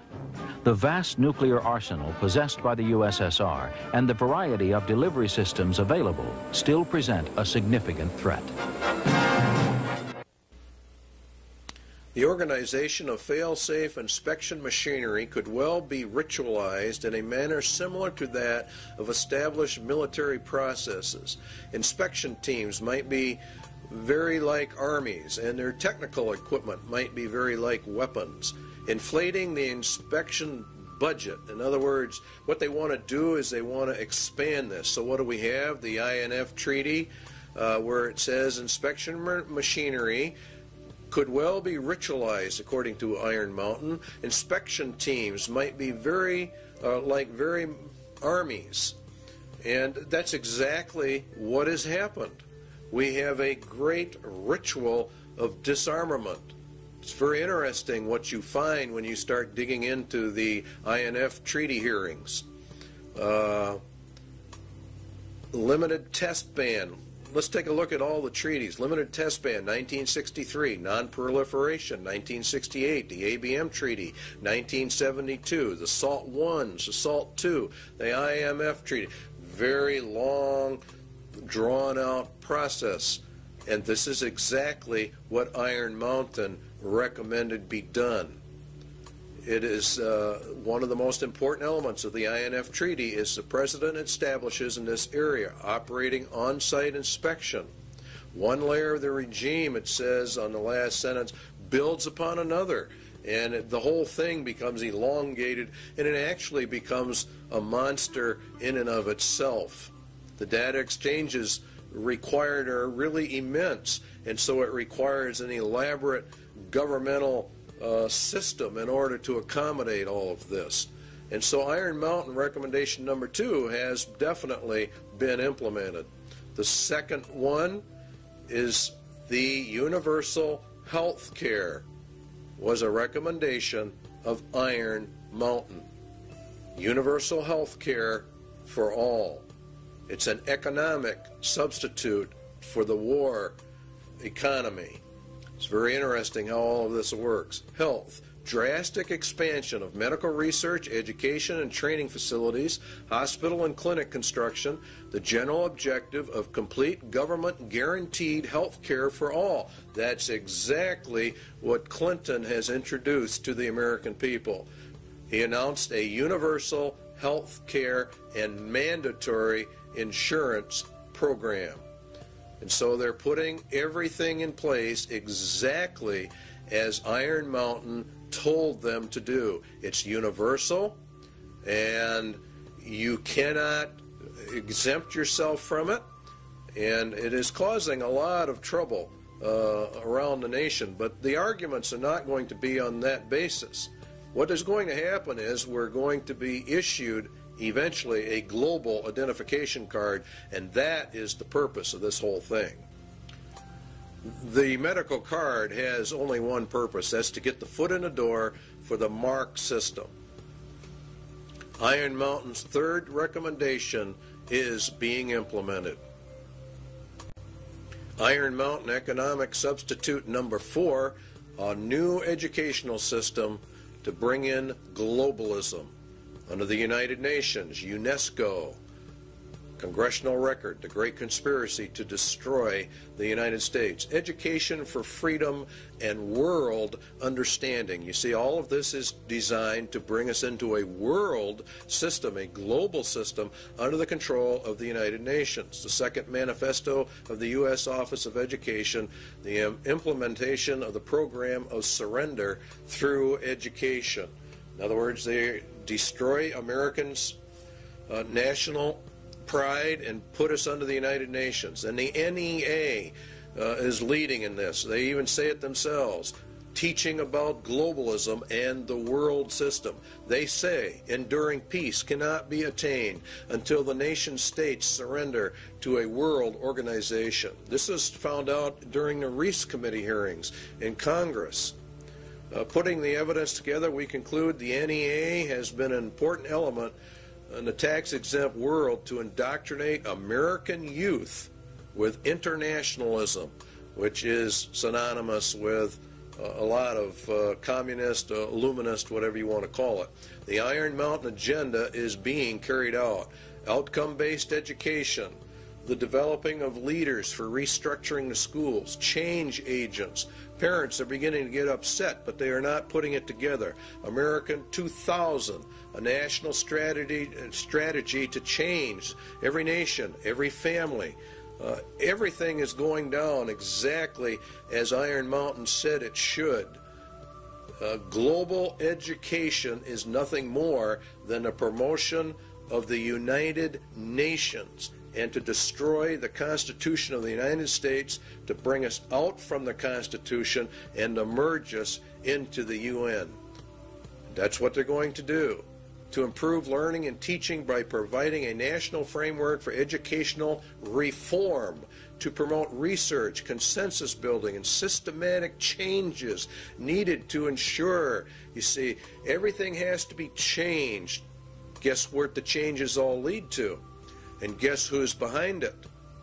If you look, Robert Muller, former UN Secretary General to the UN, member of the Planetary Citizens, wrote the Global Core curriculum. Marilyn Ferguson, the Aquarian Conspiracy, New Age. This is all being integrated into the educational system of America. And it's called America 2000 and it is extremely subversive. The national and international power play for education. It's going to go through because God has decreed it will go through, and UNESCO is behind it. Gorbachev, we parted with the old world, rejecting it once and for all. We are moving towards a new world, the world of communism. We shall never depart from it. Books are on the market explaining all of this. We don't have time in this video to get into it. But Iron Mountain Recommendation 4 is being implemented. Iron Mountain Sociological Substitute for War, Slavery. Another possible surrogate for the control of potential enemies of society is the reintroduction in some form consistent with modern technology and political processes of slavery for the control of potential enemies of a society. Anyone that does not agree with the New World Order is an enemy of society and is therefore subject to slavery. Detention centers and concentration camps, work camps, are associated with forced labor, which is in reality slavery. Seizure under the executive orders of all civilians in work brigades, that's forced labor, that's slavery, which includes the rights to split up families. There are uh, concentration camps, detention centers all over the United States set up under FEMA, under Rex 84, and there are presently, to the last count we had, 130 such facilities in the United States of America. In Arizona, you'll see, uh, for example, some there. Uh, we've got one here in Wisconsin. Concentration camps for U.S. citizens. Uh, the MJTF police to conduct house and house search and seizure and separation and categorization of men, women, and children and babies categorization and transfer to detention facilities and the running of detention facilities. Iron Mountain slavery recommendation number two is, is mandatory service, a form of universal service, turned to some variant form of the Peace Corps or the Job Corps. It is entirely possible that the development of a sophisticated form of slavery may be an absolute prerequisite for social control in a world of peace. Now, this is just incredible when you really stop and look at what they're actually saying in relationship to biblical prophecies. Remember, Jesus said they're going to round you up and kill you. President Clinton has authorized boot camps for young offenders. Is this the beginning of a larger scale for social reorientation like the communists do? Uh, America 2000, the national plan that's going into our schools, requires mandatory community service. There are calls going out all the time. Bush and Clinton have called for mandatory community service for all youth up to say two years, mandatory service. You can serve in the service or some uh, other place, but you are going to serve. So the substitute for war is being implemented. Iron Mountain sociological substitute for war number two is called blood games. Game theorists have suggested in other contexts the development of blood games for the effective control of individual aggressive impulses. More realistically, such a ritual might be socialized in the manner of the Spanish Inquisition and the less formal witch trials of other periods for the purposes of social purification, state security, or other rationale both acceptable and credible to post war societies.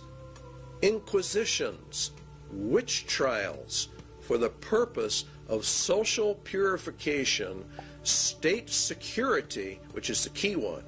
Such a ritual might be socialized in other words, they make it into a big social event like the Inquisitions were. We saw part of that beginning to unravel when we watched the Branch Davidian invasion and subsequent massacre of David Koresh and his group. A lot went down at Waco that very few Christians understand.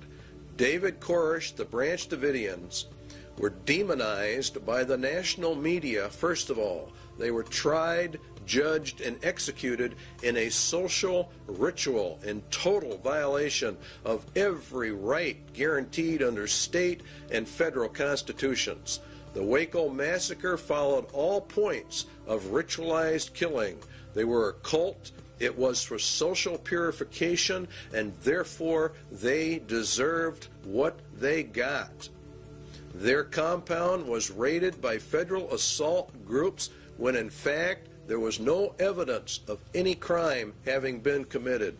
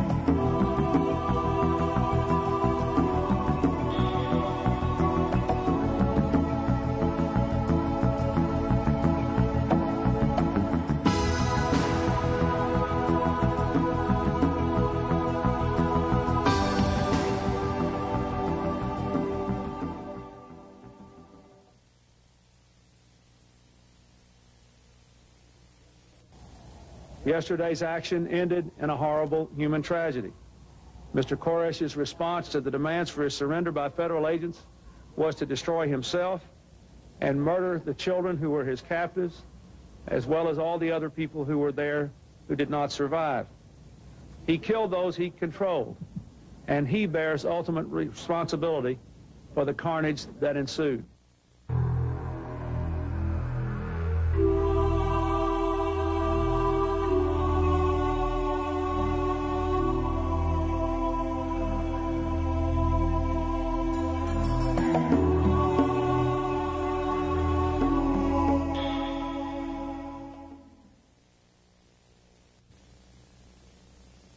In the papers before I was going to go to court. Uh, they called me the white supremacist and all that.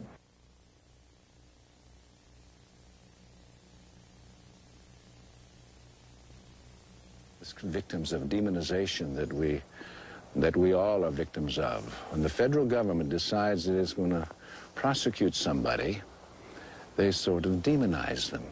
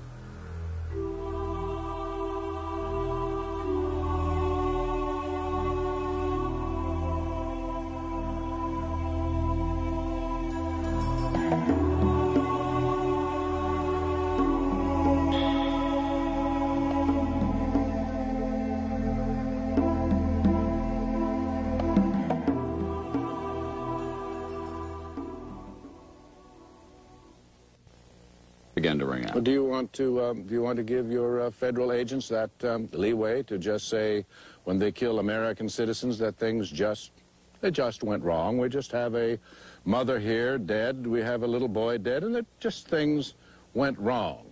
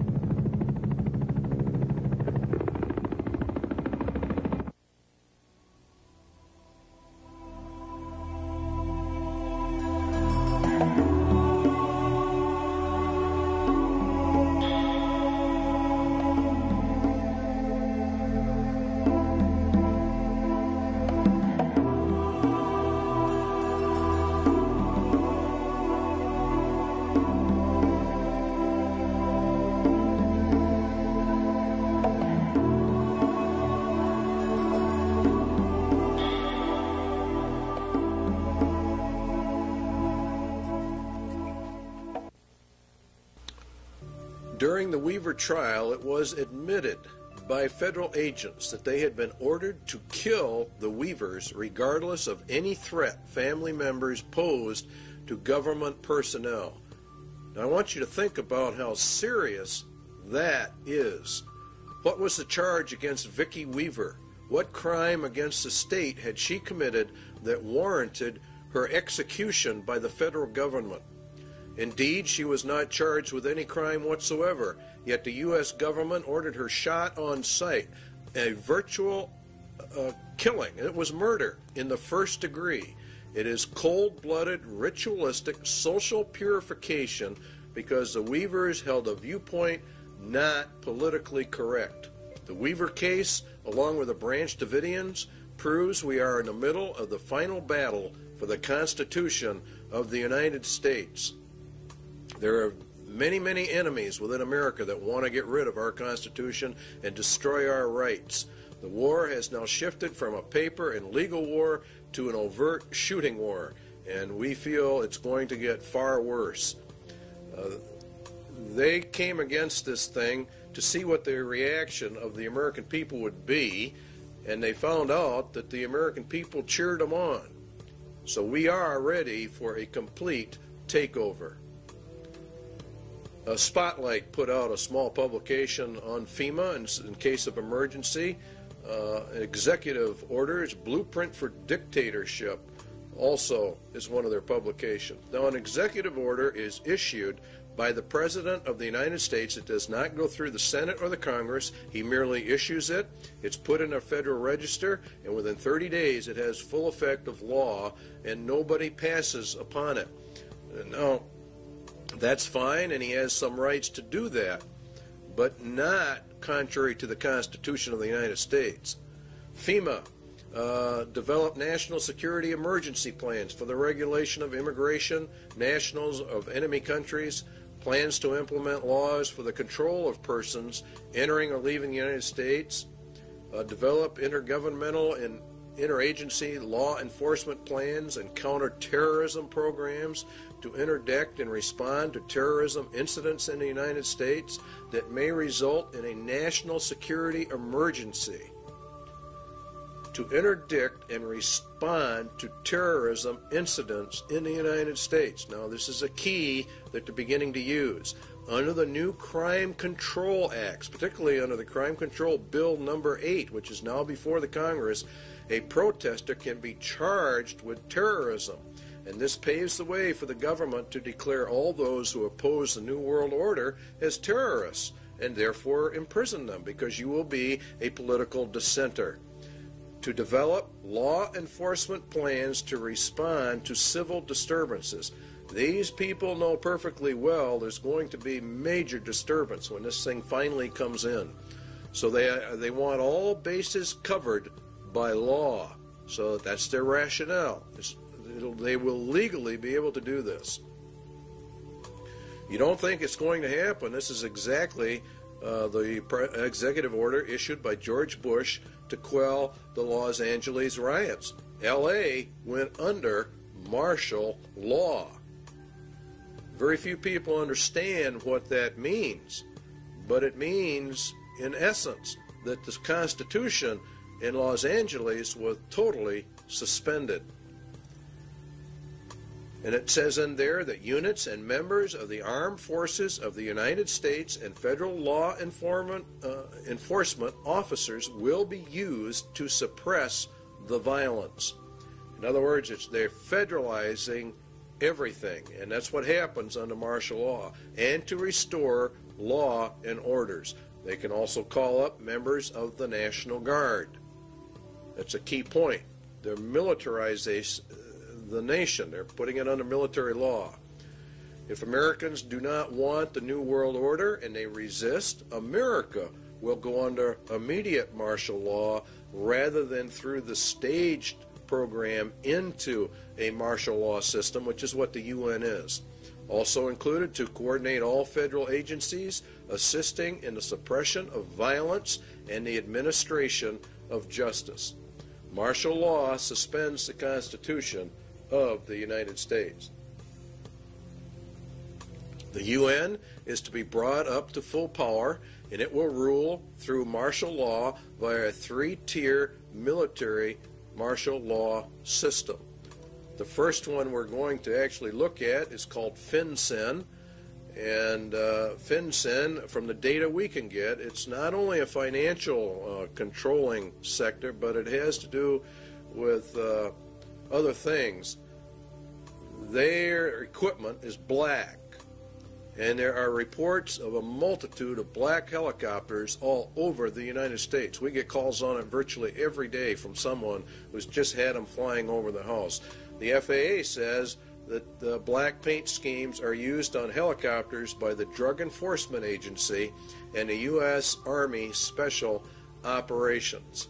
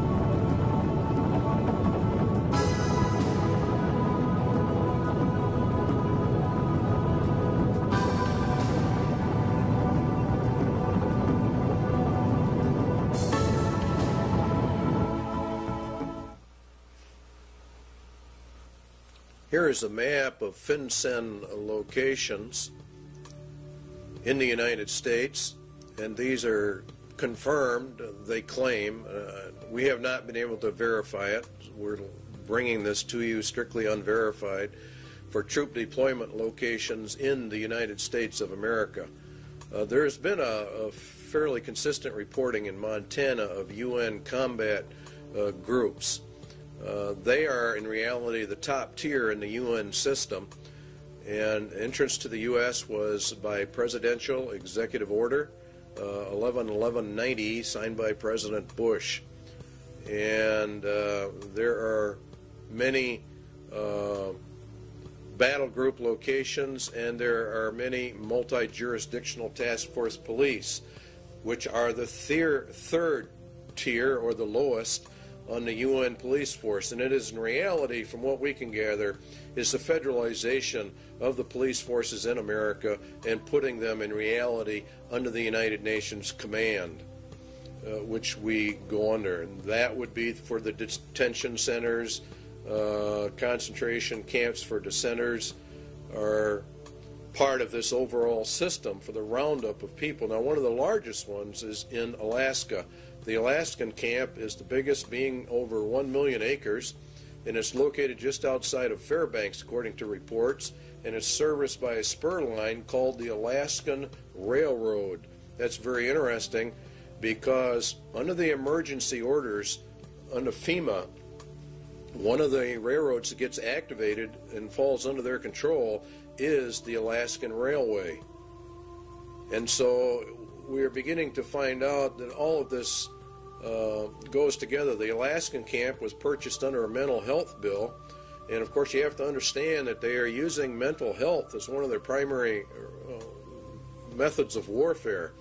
The Iron Mountain recommendations for an inquisition for social purification are also confirmed by the Lord Jesus Christ. Then shall they deliver you up to be afflicted, and shall kill you, and you shall be hated of all nations for my name's sake.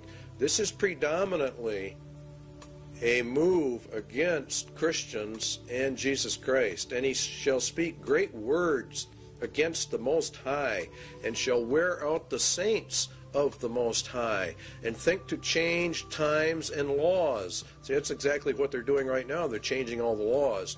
And it was given unto him to make war with the saints and to overcome them, and power was given him over all kindreds, tongues, and nations.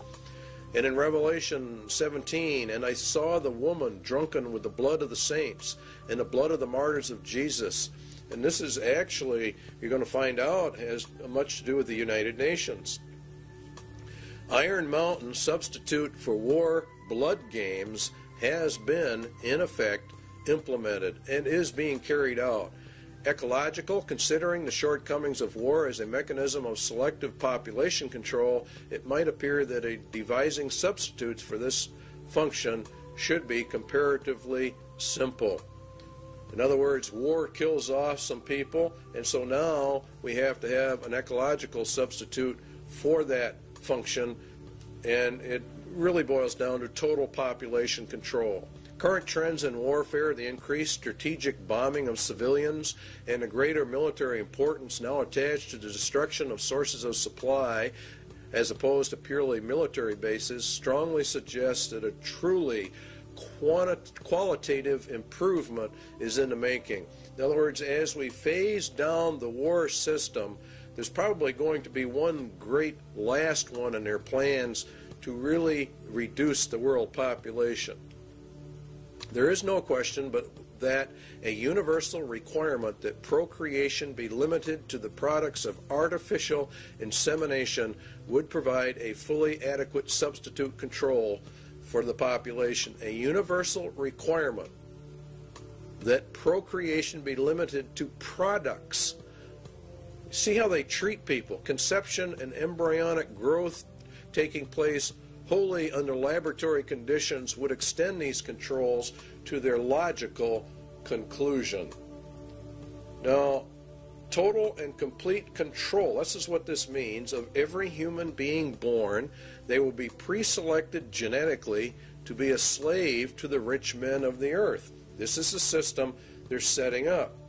They have an intermediate step, total control of conception with a variant of the pill via water supplies or certain essential foodstuffs. In other words, they intend to, when they bring in this new system, they will stop the growth of the population. They will put it into the food or the water supplies, and then they would offset it by a controlled um, substance so that it could be countermanded and the woman become pregnant.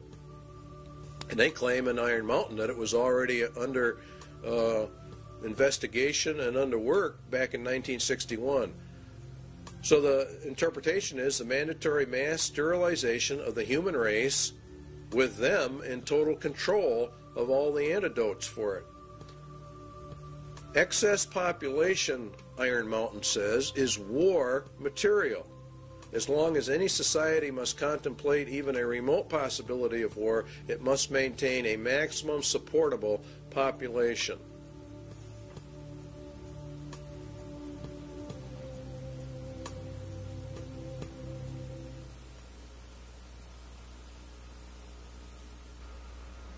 when the auditor finally gets his hands into the balance sheet.